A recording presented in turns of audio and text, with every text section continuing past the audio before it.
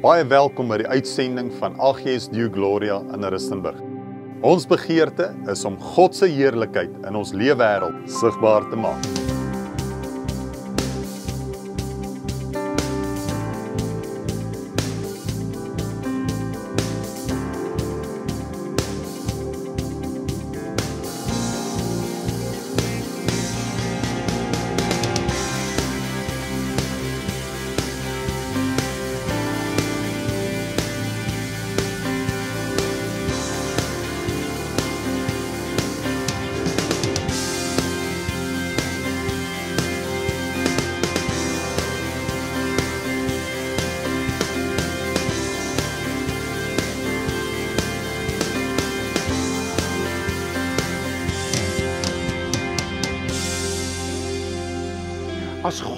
Ons kyk, wil hy so graag hê ons moet gelukkig en vreugdevol en 'n lewe met blydskap sal hê.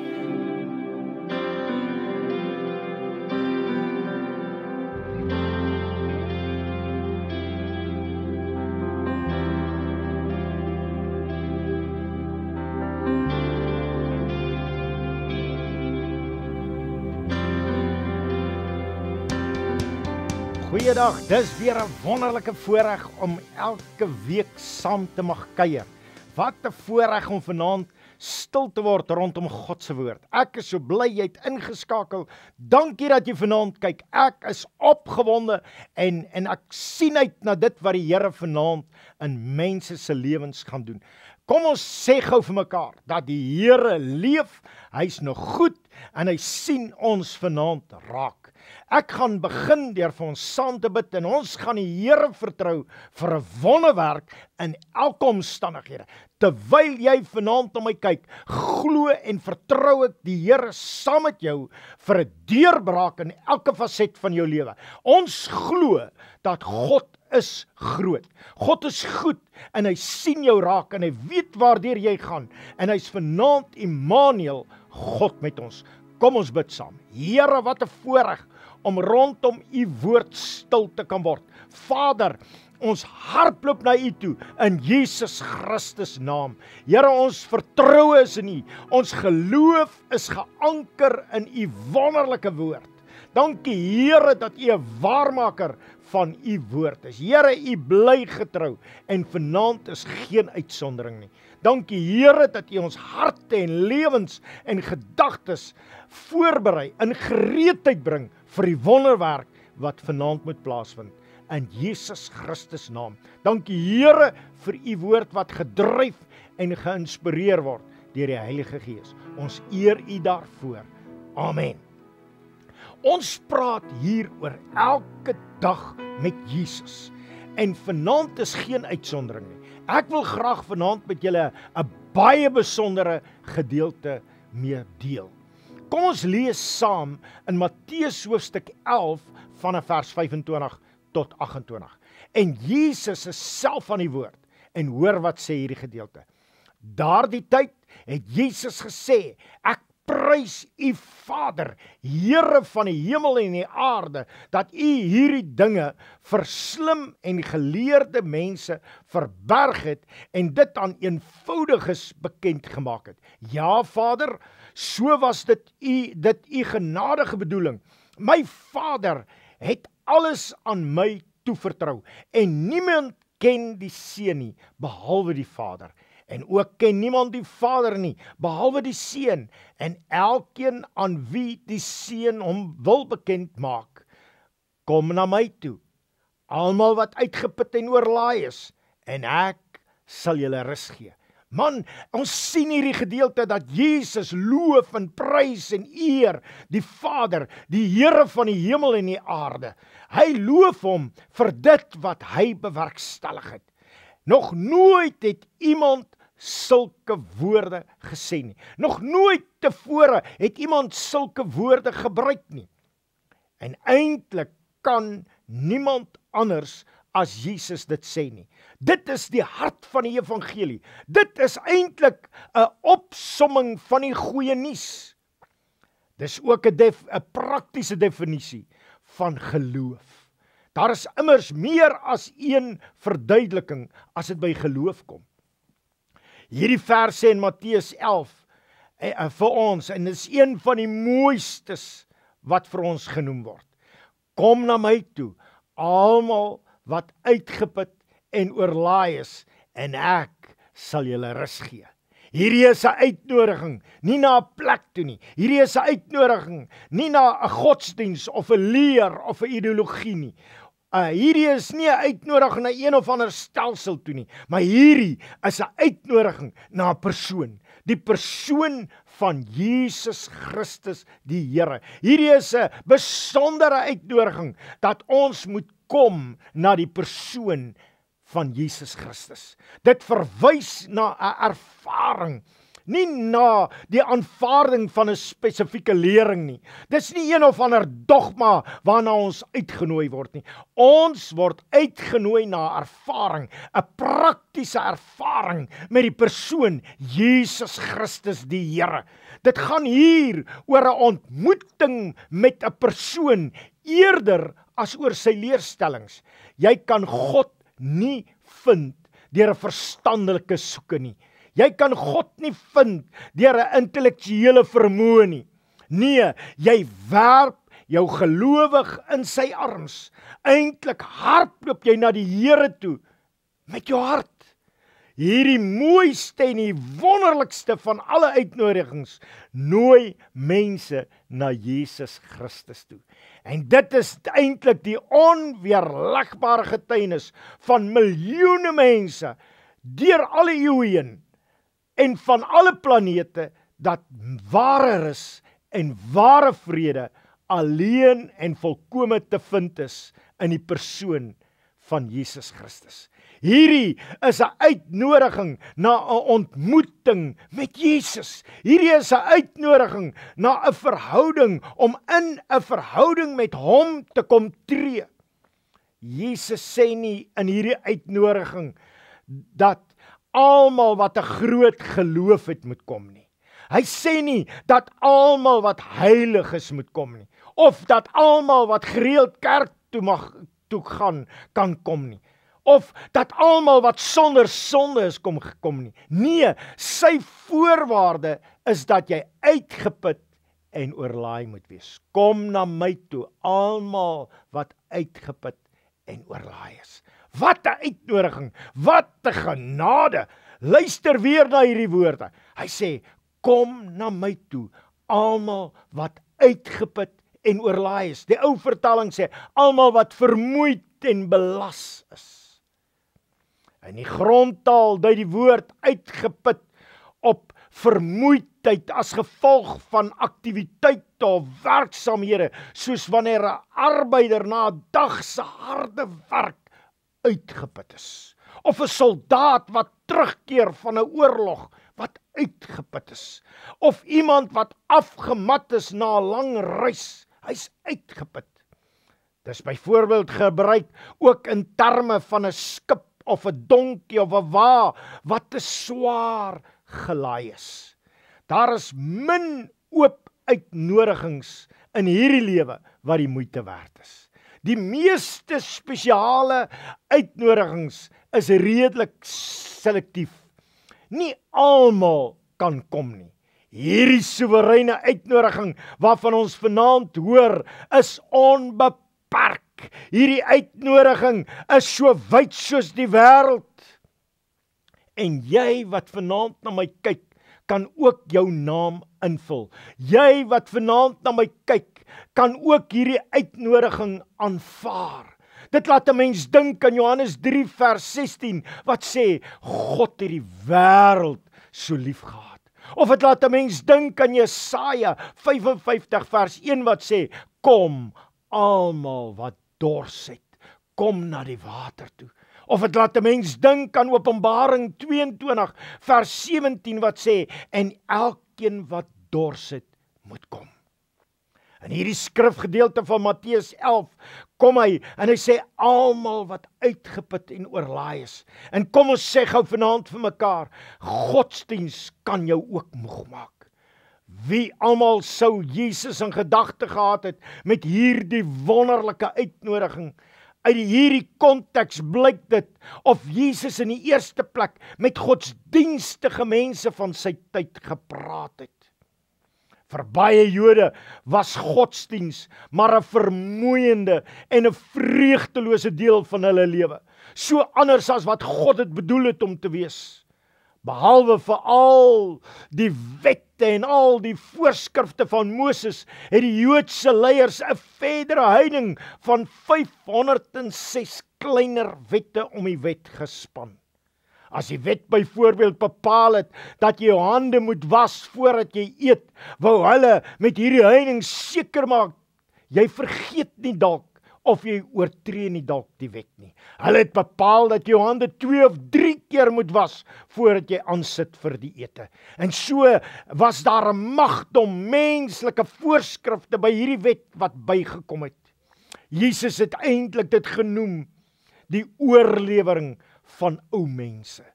Wette wat die godsdiens vir mense 'n moeitevolle saak van vele laste gemaak het. Vir baie mense is dit wat hulle verstaan het onder die go uh, term godsdienstigheid. Dit was een wet op 'n ander. Dit was reëls en regulasies, voorskrifte wat mense moes nadink. En dan dink ons as Christene of mense van ander godsdienste is vreeslik godsdienstig as hulle noukeurig en nougeset hulle godsdienstige wette en rituele nakom. Ek wil vanaand vir jou kom sê, God het weinig beha hierin. Die Christelike godsdiens is nie bedoel om 'n langgesig godsdiens te wees nie. Die Christelike godsdiens is nie 'n saak vol moeite en sigte nie. Nee, ons Christelike godsdiens is 'n verhouding met Jesus Christus elke dag van jou lewe. Dit moet vreugde bring. Dit moet blydskap losmaak in jou binneste. Christus het onder meer na hierdie aarde toe gekom om mense te verlos van die juk en die las van wettisisme. Jesus het aarde toe gekom om mense te verlos van 'n godsdiens wat vermoei en belas. Baie mense vandag sien nie meer kans om deel te hê aan 'n vermoeiende godsdiens nie. As jy dalk een van hulle is, wil ek jou vanaand uitnooi. Kan jy gerus hierdie woorde en hierdie uitnodiging van Jesus vir jou kom neem? Luister, ons skrifgedeelte sê: Kom na my toe, almal wat uitgeput en oorlaai is, en ek sal julle rus gee.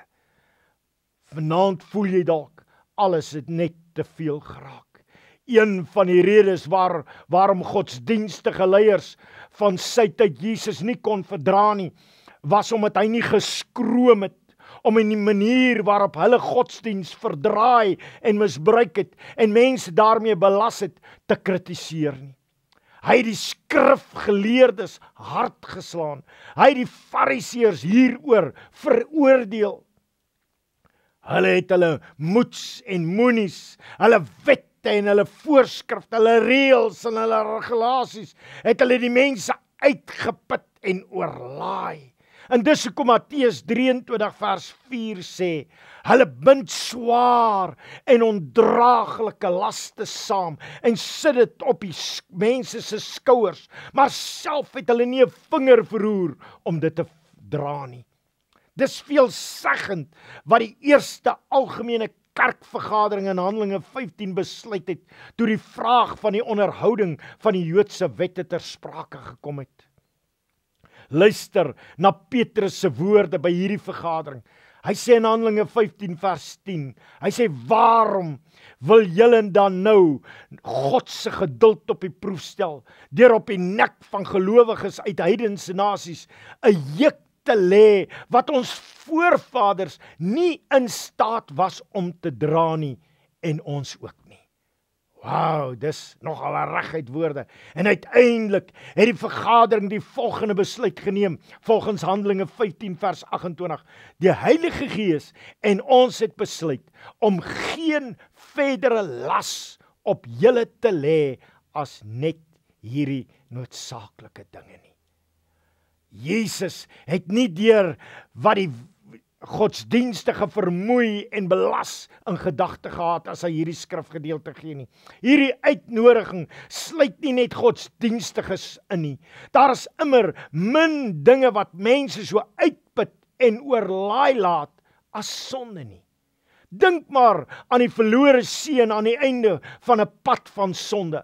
Hy was beslis uitgeput. Hy was beslis oorlaai, vermoeid en belas vir elke mens wat vasgevang is in die mag van sonde en die duiwel kom daar tog 'n dag dat dit vir jou net te veel raak. Waar jy moeg is daarvoor waar jy ervaar genoeg is genoeg en na wie toe gaan jy dan?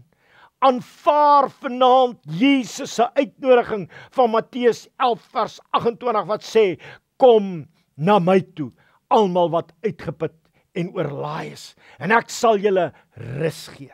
En dis wat ons nodig het, sy rus. Dis nie net ongeredde mense wat deur hulle sonde ingehaal word wat uitgeput en oorlaai is nie. Soms word die lewe ook vir gelowiges te veel. Soos vir Elia gaan sit ons ook soms onder die spreekwoordelike besembos. En ons sien net nie meer kans om aan te gaan nie. Dis nie noodwendig as gevolg van sonde in ons lewens nie. Soms word die pas van die lewe eenvoudig vir ons net te veel. Partykeer is die eise wat die lewe en mense en soms onsself aan onsself stel net te hoog. Ek dink hier veral aan mense, ja ook aan gelowiges wat hulle om watter rede ook al in 'n donker gat van depressie bevind. Hulle voel die lewe is nie meer die moeite werd nie. Hoor wat Jesus beloof wanneer jy kies om na hom toe te gaan. Hy sê wanneer jy na hom toe gaan, hy sê ek sal julle rus gee. Ek sal julle shalom gee. Ek sal vir julle vrede gee. Daar's geen wesenlike verskil tussen Jesus se rus en sy vrede nie. Albei is die vrug van 'n kinderlike oorgawe aan hom wat beloof het om vir ons te sorg. By hom is ons soos 'n ontstelde kind wat ontspan in sy ma se arms en daar troos vind. En sommer nou-nou slaap die kindjie rustig, vredevol. O, hoe nodig het ons almal dit nie om soms in hierdie lewe so aan die Here oor te gee nie. Net op 'n plek te kom waar ons sê genoeg is genoeg. Die Here beloof, hy sal vir jou rus gee. Rus wat spruit uit ons verlossing van sonde. Rus uit die oordeel van die wet. Rus omdat ons nie die hel meer vrees nie. Rus omdat ons nie meer met 'n skuldige gewete rond hoef te loop nie, maar verlos word van ons gewete. Rus omdat niks ons kan skei van God se groot liefde nie. Ek wil jou vanaand uitnooi. Die Here sê, kom na my toe.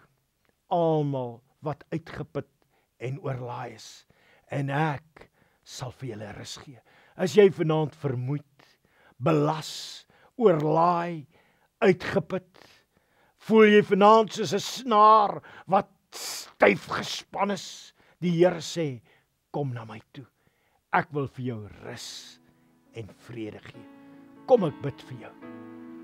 Here, vanaand wil ek my hande uitstrek na elkeen wat na my geluister het. Ek wil bid Here dat U op 'n kragtadige manier in elkeen se lewe gaan ingryp. Here, hoor hulle harte, hoor hulle binneste, hoor hulle uitroepe, hoor hulle gedagtes. Here, ek wil bid dat U bo natuurlik in elkeen se lewe gaan ingryp. Ek wil bid dat U vanaand iets besonders in hulle lewe gaan doen. Here, haal daai vermoeidheid uit. Haal daai las uit. Here, ek wil bid dat U die sorges van die lewe sal verwyder. Here, ek wil bid dat U op 'n bo-natuurlike manier gaan ingryp in hulle lewe. Here, sien hulle raak. Ontferm U oor hulle. Here, gee hulle U rus. u vrede, u genade, u barmhartigheid, u guns. U is vanaand nog genadig. Here openbaar u goddelike genade ook aan elkeen. Here mag hulle ervaar dat daar 'n vrede van God wat alle verstand te bowe gaan, hulle deel word in Christus Jesus. Mag hulle vanaand beleef, hulle ontmoet die vrede vors, die prins van vrede. O Heilige Gees, kom bewerkstellig vrede in elkeen se hart. Mag die vrede en die rus besit neem van hulle. Mag daai kommer en gesig daai belaiding, daai vermoeidheid gaan in Jesus Christus naam is my gebed en ek eer U daarvoor. Amen. Mag jy in hierdie aand en in hierdie week wat voorlê, dat hy las van jou skouers af is. Mag jy beleef dat die Here met jou is. Die Here gee sy vrede met jou. Vrede in jou hart, vrede in jou gedagtes en vrede in jou omstandighede. Mag sy rus jou deel word. Die Here seën jou, gaan geniet jou week en dis heerlik om die Here te dien. Die Here seën.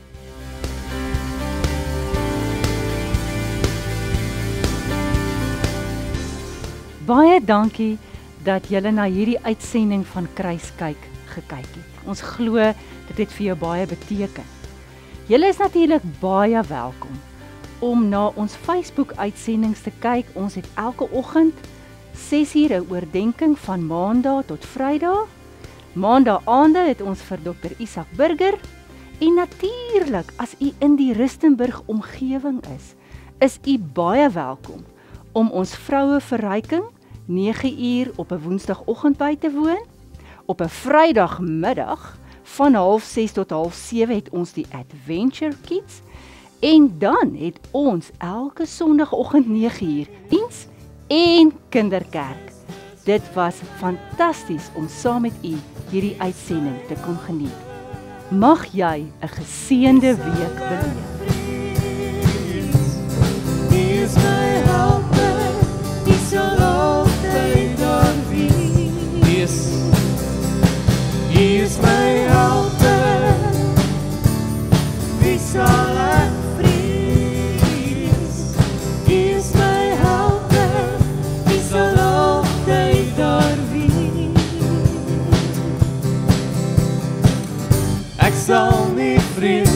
Ek sal nie vrees, ek sal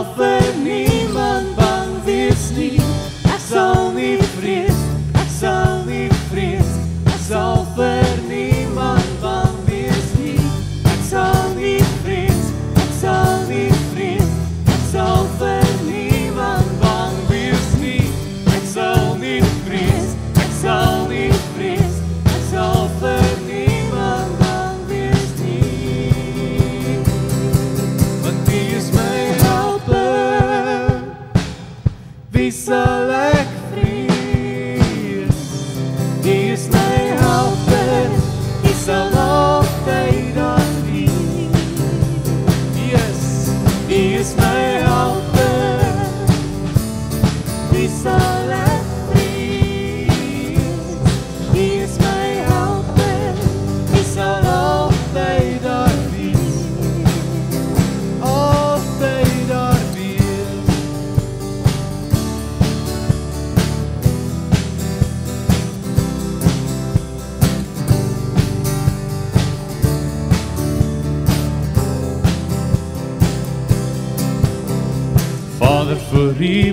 my offer en ek kom by. Vader, vir U sal ek dans en dankbaar jy. Vader, vir U sing ek 'n lied van dankbaarheid. Vader, my Vader, vir U is my redding.